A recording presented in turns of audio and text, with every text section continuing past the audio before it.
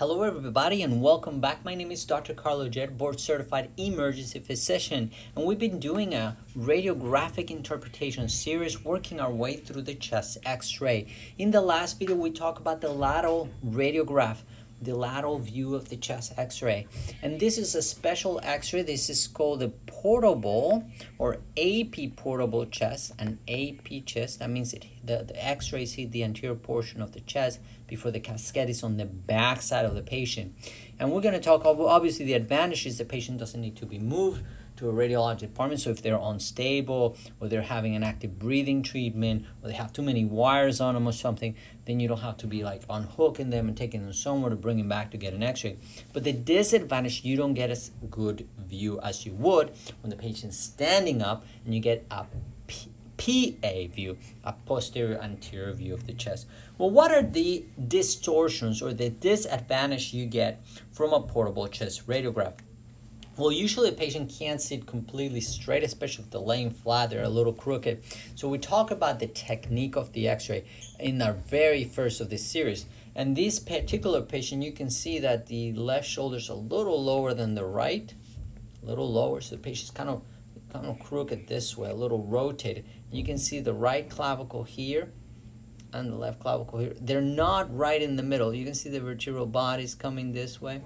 And you can see that that's doesn't fall right in the middle like, like it should be, right in the middle.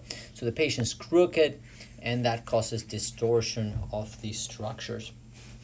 Also, the patient doesn't have a good full inspiration.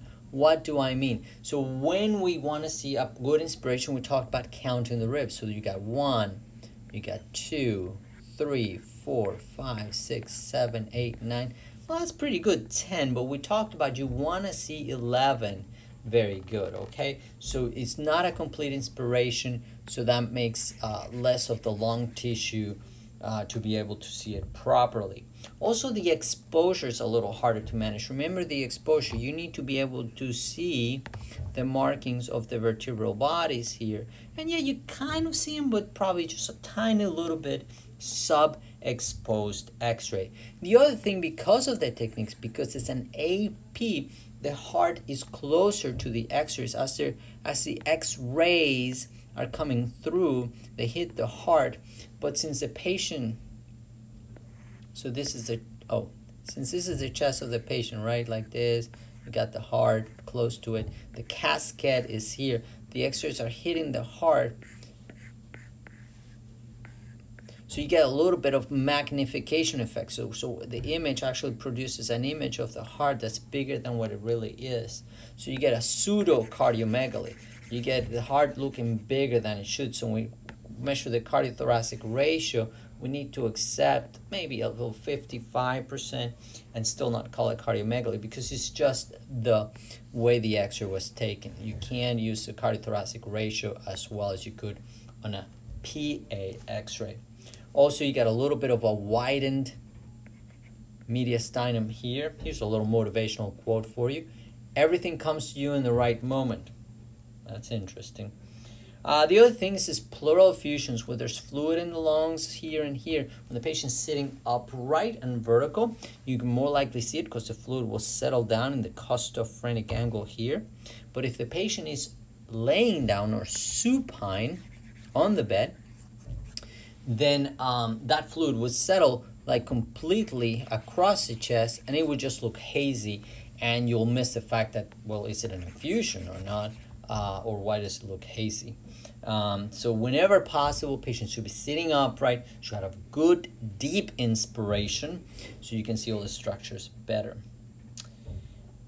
And then the other thing is when you do uh, portable x-rays you might get all the things on the x-ray that affect your vision. The main thing here is going to be this here which is um, an EKG wire. And sure enough, I mean, you can kind of Er-, erase that from your mind and still see the other structure. But when you have a wire there, another wire here, and another wire here, and you got a breathing treatment with a, a little tube coming out here, and there's a bed board somewhere in there. It's just a lot of things that add up and make that interpretation of your x-ray more and more difficult. So whenever possible, you do want the patient to go formally to the radiologic department, get a PA view and not a portable chest X-ray. You're just going to see better things. The other thing is, because you're doing portable, you only get you only get the AP view. When you send them to the department, you get a PA and a lateral. And that lateral, as we discussed in our last video, has some important structures that you need to look at. Remember, all those things that you would miss, uh, that retrocardiac space, that retrosternal space, that needs to be nice and clear. So if you see any densities and stuff, it would be easier to see here than it would be if you don't have it and all you have is this. So that's it for today. I hope you enjoyed this video and this video series. Please, please comment, like, subscribe. If you want to see more of this, you want to keep me motivated so I can keep doing this um, as often as possible. All right? Take care, guys. Bye-bye.